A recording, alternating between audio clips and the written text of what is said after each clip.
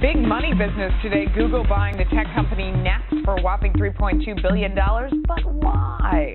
The company makes thermostats and smoke alarms. Some experts say it's so Google can access what you are doing at home when you're not in front of the computer screen. And that has some customers pulling the plug, literally, users tweeting they are ripping their Nest devices off the wall. Here now our tech expert Rob Enderle, who owns a Nest smoke alarm, by the way, and security consultant Todd Morris.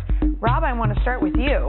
Are you a little nervous about your Nest device now? It is going to be spying on you. Well, recognize that Google's probably already spying on me in new and wonderful ways.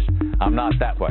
Yeah, Todd, what about that? Because, I mean, the, the, first question was, you know, there's a device out there called Canary where you can look remotely into your house and see what's going on. And obviously, a lot of people are concerned about hacking into that. This seems like, even though it doesn't, as of now, have a camera or microphone, seems hackable. It also seems like they could collect information. I mean, that's a, that's an interesting one from Rob about what kind of smoke is in your house. Well, I think Rob's fears are not entirely unfounded.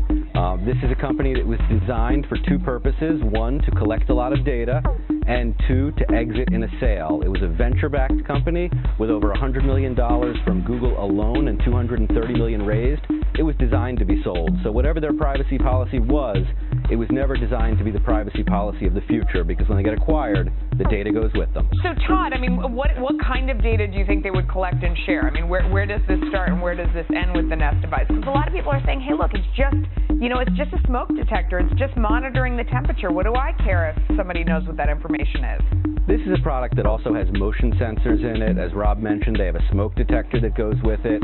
There are rumors they're talking about a camera, and as we know, Google has the best facial recognition software available, so they'll know who's in your house and when. Rob, what do you think about that? Well, that's my take as well. As they, as they expand the line, uh, the combination of products, the tablets, the smartphones, the in-home sensors, the perimeter sensors. Uh, they'll know more, and their Chrome TV and Chromebooks. I mean, they'll they'll know more about you than you know about you in a very short period of time. Is that what Google and it really would depends want? how that information can be used. I mean, what yeah, what is, what, what is valued? I mean, the show is called Money, so we want to drill down on that. What is valuable information that this device could collect now or in the near future that Google would turn around sell, and sell? Go ahead, Rob. They sell this. They sell this to advertisers. So that so if advertisers know what you eat, when you watch TV, what you watch TV, what you smoke, uh, all of these things tell them what they can try to sell you and what you're going to buy. It ups the conversion rate uh, for ads from when you see an ad to what you'll actually purchase from the advertiser, and, and it's it's like they're minting gold. It's really their golden goose. Todd, there's I a mean, saying: if you're not paying for the product, you are the product.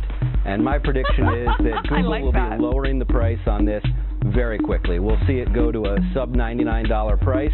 They'll be giving it away under the cost it takes to produce it, and their only motivation is data. Why would they buy this? Because I mean, this is, this is part of the Internet of Things, everything in our house and everything in our lives is going to be connected to the internet, and we can talk to it remotely, and people can spy on us and get the information and everything else. I mean, it's that access point to the house.